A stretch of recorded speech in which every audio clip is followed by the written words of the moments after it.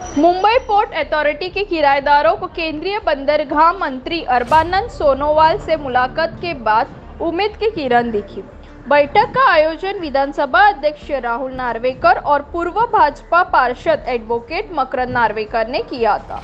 मंत्री ने उन्हें पंद्रह दिनों में नया प्रस्ताव पेश करने को कहा, जो किराएदारे अधिकारों को लेकर 1994 में हुए समझौता फॉर्मूले के अनुरूप हो। यह फैसला कोलाबा से वडाला तक शहर 10 परसेंट आबादी को उम्मीद की किरण दिखाता है। किराएदारों को किस बात ने परेशान किया है?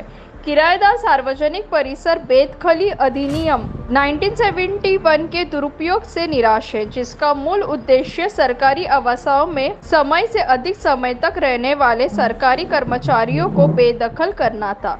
इसके बजाय उनका कहना है कि इस अन्यायपूर्ण तरीके से कमज़ोर किराएदारों पर थोपा गया है। पट्टों का नवीनीकरण न होना, खली की व्यापक कार्रवाई नीतिगत निष्क्रियता, जिसका अर्थ है किराएदारों के लिए भूमि रूपांतरण योजना, माफ़ी या पूर्ण विकास योजना को रोकना, कानूनी उत्तराधिकारियों को भूखंडों का हस्तांतरण करना, पट्टे के किराए में भारी वृद्धि और अनुचित मांग करना, राज्य के किराया नियंत्रण कानून को मान्यता न देना। मुंबई पोर्ट अथॉरिटी एस जिसे पहले मुंबई पोर्ट ट्रस्ट के नाम से जाना जाता था। के पाँच लाख से अधिक किराएदारों को उम्मीद है कि किराएदारी अधिकारों और नवीनीकरण को लेकर उनकी लंबी लड़ाई का समाधान निकलेगा। इनके जवाब में मंत्री ने उन्हें किराएदारी अधिकारों को लेकर 1994 में तय किए गए समझौता फॉर्मूले की तर्ज पर 15 दिनों में एक नया प्रस्ताव पेश करने को कहा।